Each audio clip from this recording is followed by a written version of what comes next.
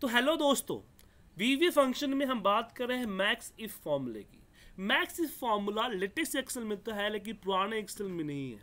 तो वीवी की मदद से हम पुराने एक्सेल में 2007, 10, 13, 16 में किस तरीके से मैक्स इफ़ का फॉर्मूला बनाएँगे ये वीवी का कोड आज हम बताने जा रहे हैं। तो जो लोग वीडियो को फ़र्स्ट टाइम देख रहे हैं, उनसे रिक्वेस्ट है कि प्लीज़ मेरी वीडियोज़ को लाइक सब्सक्राइब कर लें और चैनल को सब्सक्राइब कर लें। और सारे सिक्वेंसली वीडियो चाहिए तो मेरे मोबाइल ऐप को डाउनलोड करें। मोबाइल ऐप का लिंक मैंने इस वीडियो के डिस्क्रिप्शन बॉक्स में दिया हुआ है। और साथ में अभी देखिए ऑनलाइन क्लासेज चल रही है। आप इस तरह से ऑनलाइन क्लासेज लेना चाहते हैं लाइव इंटरेक्टिव तो आप जूम ऐप के थ्रू ले सकते हैं। इसके लिए आप मेरी website I P T India dot com पर जाके डेमो क्लास का फॉर्म भर सकते हैं। मेरी वेबसाइट का कंप्लीट यूआरएल मैंने इस वीडियो के डिस्क्रिप्शन में डाला हुआ है। तो हम बात कर रहे हैं मैक्सिफ फॉर्मूले की। देखिए, अगर पुराने एक्सेल की बात करें 2016 तक की बात करें तो हमारे पास सम इफ़ का फॉर्मूला है। सम इफ़ का फॉर्मूला है, जो कि किसी पर्टिकुलर पर्सन के किसी पर्टिकुलर रिकॉर्ड को सेव यहाँ पे सम कर देता है। जैसे पूजा का टोटल यहाँ पे सम करके दे दिया। उसी तरीके से मान लीजिए मुझे एवरेज चाहिए तो एवरेज इफ़ का फॉर्मूला है। लेकिन अब 2019 की बात करें तो हमारे पास मैक्स का भी फॉर्मूला है, जो कि मैक्सिमम नंबर निकालता है साथ में मैक्स इफ़ का भी फॉर्मूला है, जो कि मैक्सिमम नंबर देता है किसी एक पर्टिकुलर कंडीशन के बिहार पे। ओके अब यहाँ पे क्वेश्चन आता है कि मैक्स इफ़ का फॉर्मूला हम अपने हिसाब से कैसे बनाएँगे? समझे? मैक्स इफ़ का फॉर्मूला हम अपने हिसाब से कैसे बनाए? समझ में आ गया आपको सर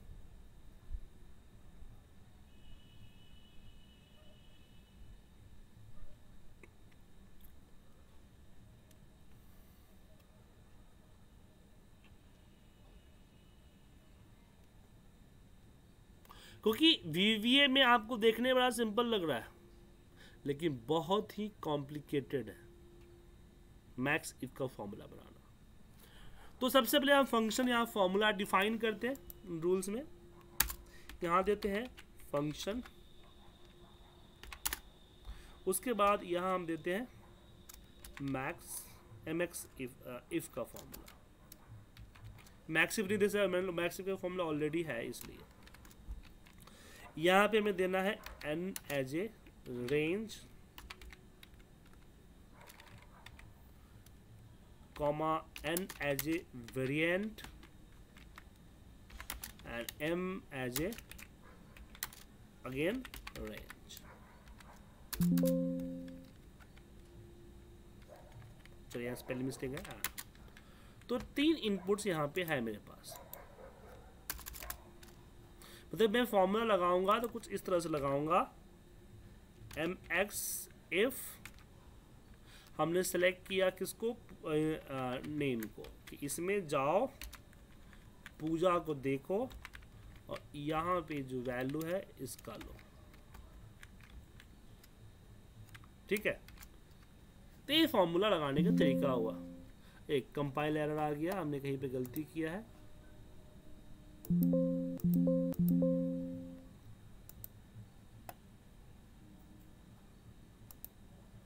एन एज अच्छा एन नाम का दो रेफरेंस नहीं हो सकता ना यहाँ पे। आर कर तो ये हमारा फॉर्मूला लग गया। अब यहाँ पे क्या करना है कि जो पूजा वाली वैल्यूज़ है, सारे वैल्यूज़ को मुझे एक एक करके यहाँ पे लेना है। तो मैं क्या करूँगा, यहाँ लगाऊँगा कि फोर यहाँ यहाँ पे एक और दूँगा कि डिम के एज ए रेंज यहाँ करूँगा फोर आई इक्वल आई नहीं फोर इच होगा फोर इच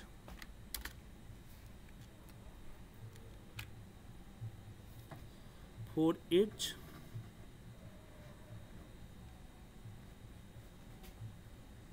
अच्छा इसमें जो है एन एज ए रेंज जो हमने दिया हुआ, ये करने की ज़रूरत नहीं है। इन एन फोर इच के इन एन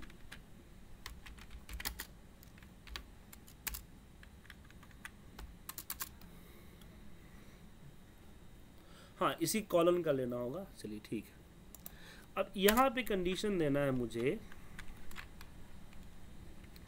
कि इफ़ के dot value is equal to R then अब मुझे इसकी वैल्यू नहीं उठा सकता, क्योंकि वैल्यू उठा के रखेंगे तो उसमें से मैक्सिमम कैसे लेंगे? क्योंकि कोई सम वगैरह तो करना नहीं है इसलिए मुझे इसका एड्रेस उठाना है। इसका एड्रेस उठाना है। तो हम क्या कर रहे हैं, यहाँ पे हम एक मैसेज के लिए करते हैं dim M as a string M as a string और यहाँ एम इक्वल टू हम करेंगे एम के साथ हमने कॉमा का यूज़ किया अगेन एंड और फिर यहाँ पे करेंगे सेल सेल्स सेल्स में आर डॉट रो हम लेते हैं। के माफ़ कीजिए के डॉट रो के डॉट रो और उसके बाद हम यहाँ पे करते हैं M dot column dot address address और यहाँ पे एंड इफ़ अब स्टार्टिंग में कॉमा लगेगा तो हम यहाँ लास्ट में करते हैं, m equal to right m में से लेन m को माइनस वन कर दो। उसके बाद यहाँ हम करेंगे M X if equal to application dot worksheet function dot max और इस मैक्स में हम दे देते हैं एम एम नहीं range range M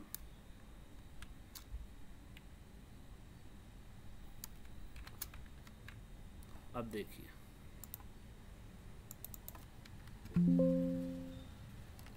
okay M already है एम तो यहाँ ले रखा है ना यहाँ पे यहाँ पे ए कर देता हूँ एड्रेस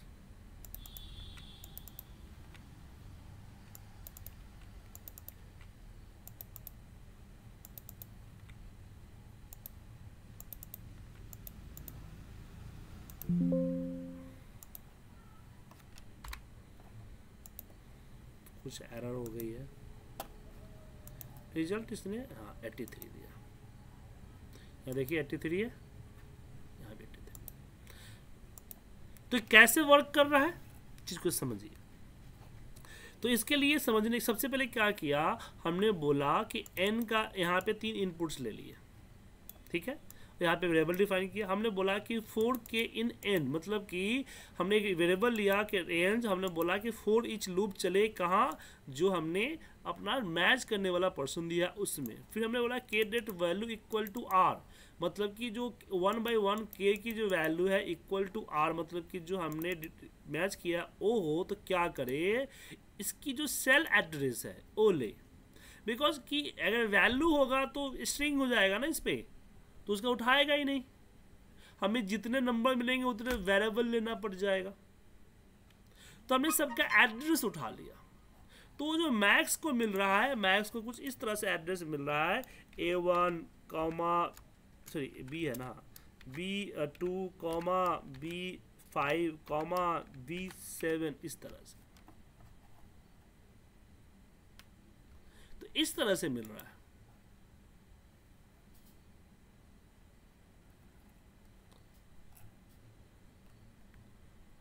हेलो हाँ मिस्टर सिंह बोलिए। सर जाहिद बात कर रहा हूँ। हाँ जाहिद जी बताइए। सर जैसे इसको एड्रेस मिल रहा है ठीक है? हम्म, तो ये एड्रेस के साथ वैल्यू कैसे फिर पिक कर रहा है? मतलब तो सर हमने रेंज के अंदर में एड्रेस लिख दिया ना। आपको बताया था ना कि हम रेंज के अंदर में इन्वर्टेड कॉमा के अंदर A one comma B one B two इस तरह से दे सकते हैं ना? हाँ जी। इस तरह से ले रहा है क्योंकि हमने रेंज के अंदर में ए को डाला है ना। एक मिनट समझिए इसको। एक काम करता हूँ मैं, मैं इसको हटा देता हूँ इसको डेड कर देता हूँ। ठीक है।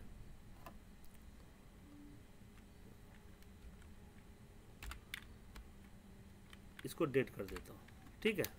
अब देखिए यहाँ पे हमने ए कर दिया। तो अब इसको एक बार रन करता हूँ। तो ये देख रहे हैं आपको B four B fourteen B sixteen B seventeen तो मैक्स फॉर्मूला के अंदर में एक ज़रूरी थोड़ी है कि आपको सिक्वेंसली देना है। आप इस तरह से भी दे सकते हो ना। समझे?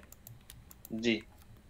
तो सेम हमें प्रोसीजर यहाँ अप्लाया है कि मैंने सारे जो जो पूजा से मैच कर रहा है जैसे बी टू हो गया उसके बाद पूजा बी फोर्टीन पे मैच कर रहा है तो जितने भी पूजा वाले एड्रेसेस जो बी कॉलम में थे उसको हमने उठा के ए पे कंबाइन कर दिया। फिर उसको हमने डाल दिया मैक्स फॉर्मूले के अंदर रेंज के अंदर। तो रेंज को कुछ इस तरह से मिला इसने लुकअप इसने मैक्सिमम नंबर दे दिया। और मतलब इस एड्रेस में जो भी इसको मैक्सिमम वैल्यू मिली वो उसने उठा के यहाँ पे रख दी right sir ji sir ji ji. सही सही। ओके समझे? ओके और सर ये एक चीज़ और जैसे आ, हमने ए इक्वल टू ए के साथ कंबाइन किया कोमा को फिर ये जो ये के डॉट रो है और एम डॉट कॉलम है थोड़ा सा ये मतलब के डॉट रो इसलिए किया क्योंकि बेसिकली क्या है कि हमें जो के की जो वैल्यू है वो तो उठानी नहीं है। हमें के के एम बी वाले कॉलम की वैल्यू उठानी है। प्रॉब्लम ये है कि यहाँ इससे पहले की सारी चीज़ों में हमने बेब का यूज़ किया था। इस ऑफसेट का यूज़ किया था ना सर बट यहाँ पे प्रॉब्लम ये है कि ज़रूरी नहीं हो तो इसके सीक्वेंस हो सकता है कि कहीं और हो कितना कॉलम दूर का हो। तो इसलिए हमने यहाँ पे इनपुट ले लिया हुआ है। तो हमने प्रॉब्लम ये है कि लूप जो चल रहा है एन पे चल रहा है ना? वो एम पे थोड़ी चल रहा है इस पे थोड़ी चल रहा है। जी सर। तो इसलिए हमने बोला हाँ इसलिए हमने बोला कि जो लूप चल रहा है वो के का जो जो रो नंबर लूप में जैसे मान लीजिए कि यहाँ पे लूप है लूप है सोलह नंबर लूप में आया। तो सोलह नंबर रो और कॉलम बी जो हमने उठाया है उसका रो नंबर कॉलम नंबर तो रो नंबर कॉलम मिलने पे इसका एड्रेस ले लेगा वो। इसलिए दिया हमने यहाँ पे। ओके क्योंकि सर हमें एग्जैक्ट पता नहीं है ना कि अगर मान लीजिए कि बी फोर्टीन में मैच ए फोर्टीन मैच किया है तो बी फोर्टीन कैसे पिक करेंगे आप क्योंकि हमें तो यहाँ एम में पूरा का पूरा कॉलम है। ओके ओके ओके अगर इसको हम अगर ऑफसेट अगर यहाँ पे यूज़ करते तो फिर वो एज एक फिक्स से ही हो जाता है या फिर हाँ, मतलब ऑफसेट यूज़ करते तो फिर आपको सीक्वेंसली लेना पड़ता है कि चौथा नंबर पांचवा नंबर छठा नंबर हाँ। ठीक ठीक ठीक ठीक ओके ओके ठीक फिर आपको ये एड्रेस देने की ज़रूरत नहीं थी ये देने की ज़रूरत नहीं थी। हम्म ठीक है? ये ठीक है। ओके। तो मैं मैसेज देख पा रहा हूँ हरिवान सिंह जी मुझसे पूछ रहे थे कि वो किसी वेबसाइट से डेटा कैसे उठाएँगे। तो सर ये वेब स्क्रिप्टिंग क्लासेज जो है आगे की क्लासेज है इसमें हम आपको नहीं बता पाएँगे। तो इसके रिलेटेड मैं वीडियोज़ आपको प्रोवाइड कर दूँगा तो आप उसको देख लीजिएगा। सो जी सर एक मेरी भी थी प्रॉब्लम मैंने आपको वो किया था मेल किया था नीड हेल्प के नाम से। ओके ठीक है मैं उसको तो देखा नहीं मैं देख के आपको फ़ोन करता हूँ ठीक है? नहीं सर आपने देखा था आपने मुझे रिप्लाई किया था मेरी ऑफ़िस की थी ईमेल आईडी हाँ। तो आपने लिखा था कि zero offset zero comma one है हाँ। या वन कोमा ज़ीरो है। तो आपने ज़ीरो ज़ीरो क्यों सर आपसे एक रिक्वेस्ट और है। हम्म। जी सर ज़ीरो ज़ीरो उसमें क्यों दे रखा था आपने? ज़ीरो कोमा वन होना चाहिए। नहीं नहीं जी ज़ीरो नहीं सर वो ठीक है। आप एक बार कोडिंग कर, कर, करोगे ना तो मैं आपको एक्सप्लेन बताऊँगा कि वो कैसे कैसे किया सर उसको। अभी सर अभी मैं नहीं देख पाऊँगा कि नेक्स्ट बैच का कॉल आ रहा है। आ, मैं उसको एक बार अपने एंड से अच्छा से स्टडी कर लेता हूँ। मैंने ऐसे ही देख के बोल दिया अच्छे से स्टडी नहीं किया था। आपको मैं रिप्लाई कर देता हूँ।